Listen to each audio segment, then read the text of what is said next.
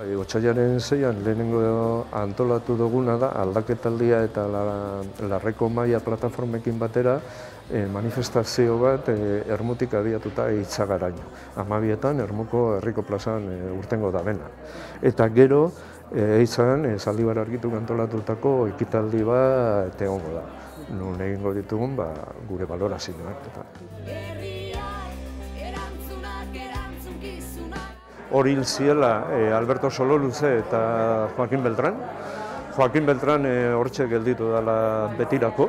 Gertatu dela eitzagan, auzo bat oso zigortua azpigituren aldetik azkenengo hamarkadetan, eta, eta gainera e, bertako biztanleek bain eta berriro, baita hauzi honetan, zabortegien hauzi honetan ere, e, sentitu dira baztertuta eta trato, txarto tratatuta. Esate baterako hasieratik eskatu zuten azterketa medikoa egiteko, eta lehenengo eusko jaularitza da, ero saldi berko udalak ez eman ziren. Eh? Hori e, batetik. Bestetik, e, atzera begira, bi urte hauetan e, zer egin du e, Eusko Jaurlaritzak dagokion, berari dagokion esparruan, ez da, ardurak argitzerakoan eta ardurak hartzerakoan bere gain, ba, ikusten duguna da ez duela ezerekin. Ikusten duguna da e, egin duen ekarpen handiena azkenen urteetan e, ingurumenari dagokionez tapia legea dela, e, tapia legearen e, entxegu bat e, zaldibarko zabortegian, eitzako zabortegian gertatu da, zen e, udalarenak ziren eskumenak bere gain hartu zituen otxailaren zeian, 2008an Eusko Jolaritzak eta gaur arte.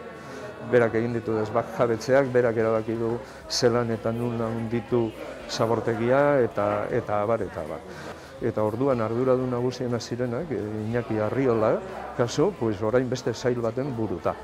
Ernesto Martínez de Cabredo, orduan ura agentziako buru zena, eta krisi honetan lehenengo lerroan egon zena, orain Eusko Tranbide zareko e, eh, zuzentaria da.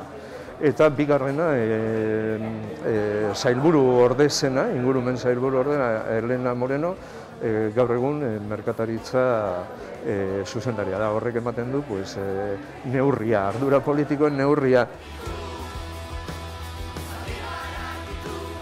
Europar Parlamentuko Eskarien Batzordeak ez, e, erabaki zuela hau batez ikerketarekin segitzea. Eta eskatzea bai, Eusko Jaurlaritzari da Europar Batzordeari informazio gehiago, gehiago behar zuelako. E, horren kontrapuntua Eusko Legebiltzarra.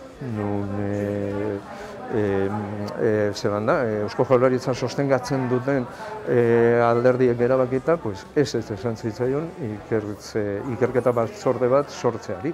Eraz, Europa Parlamentoan ikerketa batzorde bat daukagu e, itzako ondamendia aztertzeko, eta Eusko Legebiltzarrean e, ez.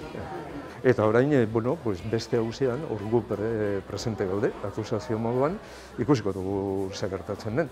E, ingurumenaren kontrako delitu aztertzen den hausian, baina, bueno, hor e, azkena eta asteburuan komunikabidetan eta zabaldu da, hor duela pare bat hilabetetik dago mai gainean e, FedExek egindako txostena. FedEx da Espainiako gobernuko instituzio bat e, ingenieritza, geologia da dana, eta horrek e, aztertu du zehatz e, kausak, ezta? E, amiltzearen kausak, eta bueno, pues, e, laburtuta, hor dago, e, ikusteko, baina akazpilo bat, e, akazpilo bat agertu dira, e, bai proiektu teknikoetan, bai e, kudeaketan, zabortegiaren kudeaketan, eta baita ere kontrol publikoan, beraz, bueno.